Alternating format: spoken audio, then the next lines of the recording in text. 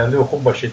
استاد شرفشید دو تا ویدیو داریم که اینها رو اگر کارگردان برنامه آماده دارن چون شاید وقت زیاد نداشته باشیم همون ویدیوی تیمسار سیاری رو اول پخش کنیم مطلب بسیار مهمی رو باز امشب می‌خوام با آگاهی برسونم. در دو تیتر. یکی این که ایران الان امروز نیروهای ایرانی در برابر نیروهای انیرانی که شهر شباز بیشتر میدم الان امشب قرار گرفتن و حتما شما دیدید و کارگردان برنامه همونطوری که ترانه بسیار زیبای مهربانیار سام جمشیدی رو اول برنامه پخش کرد از در جریان هستید که در ایران الان دیگه نیروهای پلیس من از این بعدم قبلا هم گفته بودم از الان میگم نیروهای پلیس و نیروهای شاهنشاهی در برابر صدام حسینی ها نیروهای بحث تازی که همون بخشی از معاودین عراقی بودن و تو این 43 سال نفوذ کردن وهای میستن و از مردم و زنان و دختان آریایی تدافع می‌کنن و دفاع می‌کنن. من فیلم های زیاد از آقای شرف که کوتاه کوتاه اینجا نمیشه پخش کرد وقتش نیست. ولی ریشه این کار رو من می‌خوام بگم چی است؟ ریشه این کار تیمسار حبیب سیاری رو ما به عنوان نمونه یک بار دیگه امشب از ایشون تجدید می‌کنیم. امیر ارتش شاهنشاهی ایران که از سال 1353 چهار سال پیش از انقلاب سیاه در استخدام ارتش شاهنشاهی قرار گرفت اونجا آموزش دید. یک نمونه است ایشون. یک نمونه است از سیل عمرای ارتش زمان شاه افسران زمان شاه که اینها بودن که جنگ رو بر علیه صدام حسین به پیروزی رسوندن. اینها بودن که نیروهای دیگر آموزش دادن. و قهرمانی ها رو بعد سپاه به حساب خودش گذاشت. تیمسار سیاری چند سال پیش یک مصاحبه کرد در ارتش دفتر تلویزیونی ارتش و سه تا خبرنگار ایرنا رو پذیرفت. صحبت های زیادی کرد ولی کل مصاحبهش فقط یکی دو ساعت روی سایت بود بعد برداشتن. همونجا خوشبختانه ما در اختیار داشتیم که الان قابل دسترسی از همون موقع. تیمسار سیاری اونجا میگه که میگه جنگ رو ما کردیم. پیروزی ها رو ارتش آفرید. و ولی سپاه همه رو گذاشت به حساب خودش. حالا نکته ای که می‌خوام بگم پیش از اینکه فیلم رو ببینیم اون این استاد شدید بعد از انقلاب سیاه ارتش اومد با همون حال ذهنیتی که 1700 سال ایران رو اینا نگه داشتن دید چاره نداره جز اینکه در رژیم بمونه نیرو تربیت کنه و این نیروی که اون تربیت کرد بود که هشت سال تونستن مقاومت کنن و صدام حسین آخر ایرانی ها اعدام کنن. اما از اون طرف صدام حسین با شیوایی که در چند برنامه اخیر به شما گفتم تونست بیاد به ایران و نفوذ کنه و تا همین الان بدنه قدرت در ایران بخشیش دست اونهاست. از جمله بسیج از جمله بخشی از سپاه از جمله قوه قضایی تماما و نیروهای دیگه مثل مجلس و جاهای دیگه و مجلس خبرگان و و و و. اینها همه در دست نیروهای صدام حسین است و افرادی مثل تیمسار سیاری که اینها موجب شدن که ما در برابر عراق بیستیم و پیروز بشیم که الان که افغانستان می‌خواد به ایران حمله بکنه و می‌کنم. چون بلومبرگ بلومبرگ رو من بگم مایکل بلومبرگ یکی از شرکای بزرگ جورج سروس هست. و من اینها رو که میگم سایروس به خاطر اینکه اینها یک تشکیلات جهانی که هستن شخصیت های بسیاری هم هستن که تو این جریان هستن. سروس فیلسوف این اندیشه است. وقتی که مایکل بلومبرگ در رسانه های خودش که نقش مهمی هم در رسانه های دیگه داره میاد اعلام می‌کنه که اینها کامیکاز یعنی آدم های انتحاری و, و, و آماده کردن. و بعد یه گزارشی هم هست که من تو برنامه خودم پنجشنبه نشون میدم اینجا وقت نیست. گزارشی هم هست که اینها آمادگیشون رو دارن. تمام تجهیزاتی که امریکا براشون گذاشته رو می‌خوان ازش استفاده کنن در رابطه با حمله به ایران. و این بار حمله به ایران دیگه این داعش و طالبان و شما همه رو بذارید رو هم میشه همین آدمایی که درست مثل پابرهنه های زمان اول انقلاب محمد 1400 سال پیش حمله کردن تمدن ها نابود کردن همونطور خواهد شد.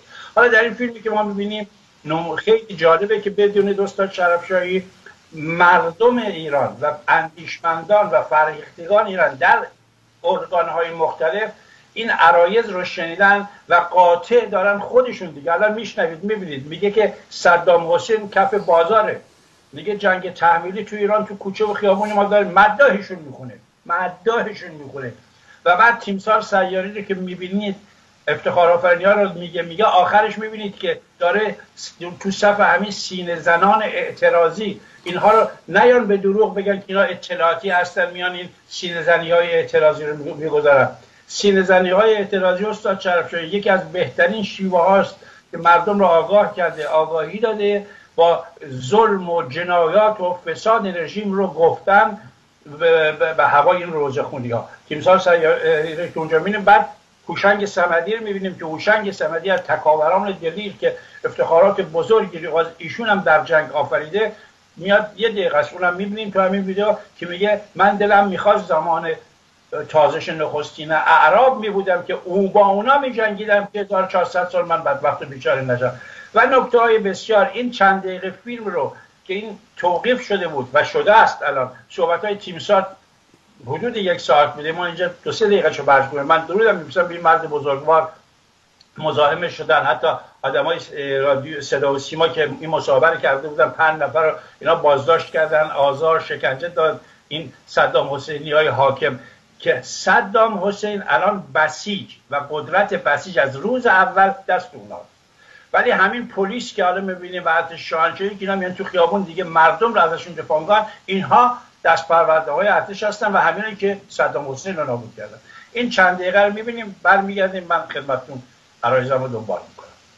خواهش باید خوب گوش کنید دوستان. مهربان دارم به کلمه کلمه سخنان تیمسار و مطالبی که مطرح میشه گوش کنید. خواهش می‌کنم این دو سه دقیقه رو.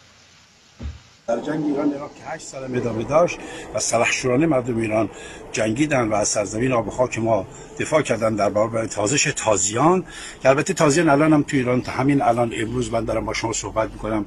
تازیان هستن که در ایران دارن حکومت می‌کنن. سند این امروز می‌بینیم از تیمسار. من میگم تیمسار بهش. امیر دریادار میگن. حبیب سیاری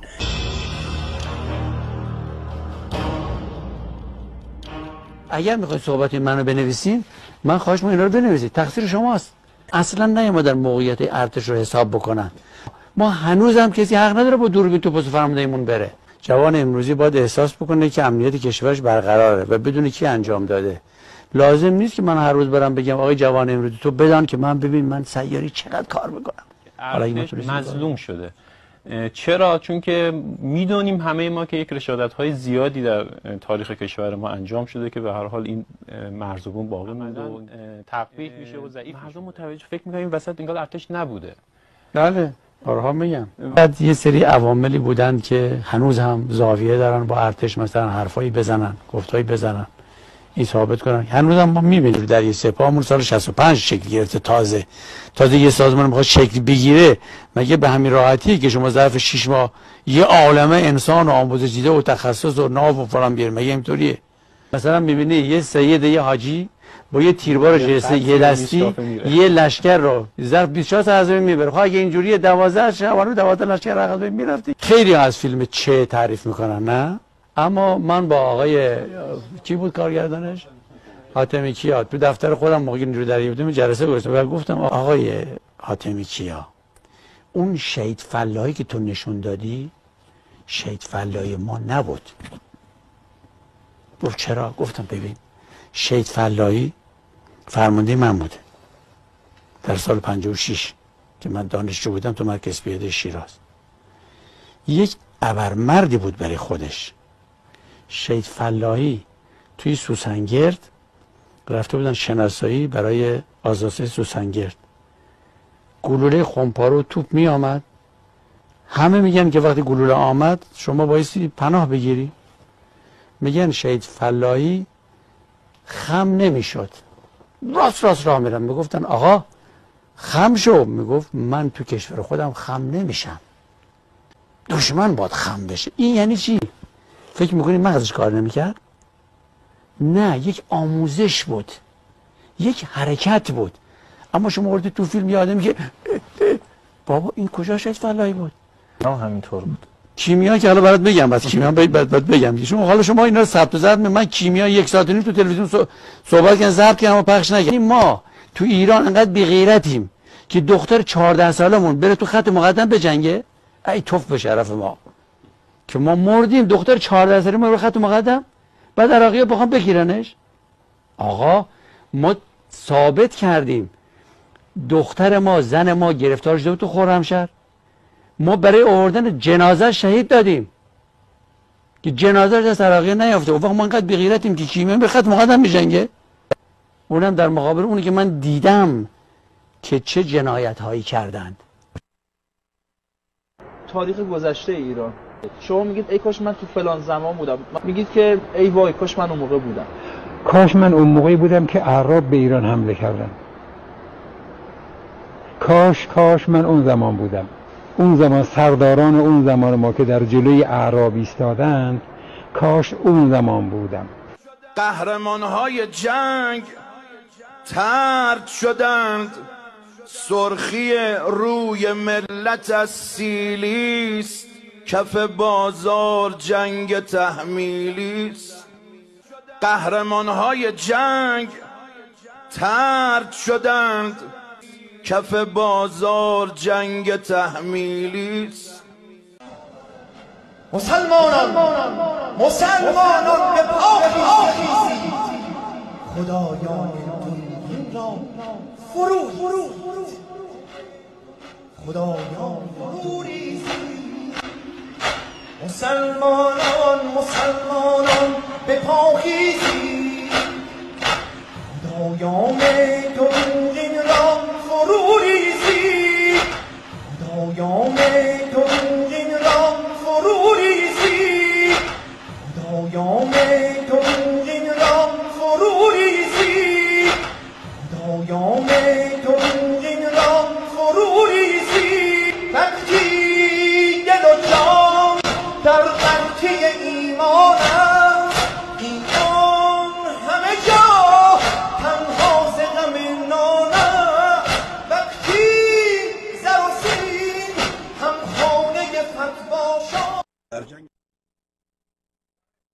استاد شرفشاهی دیدید که واضح میگه که این خدایان اینام دروغه. درست مثل گلازین که می‌خونه خداوند شما بیمار است یا مثل ترانه زیبایی که سام جمشیدی خون و مجگان عظیمی ها می‌خونن. یعنی این الان رشد فکری مردم ایران به حد اعلا رسیده.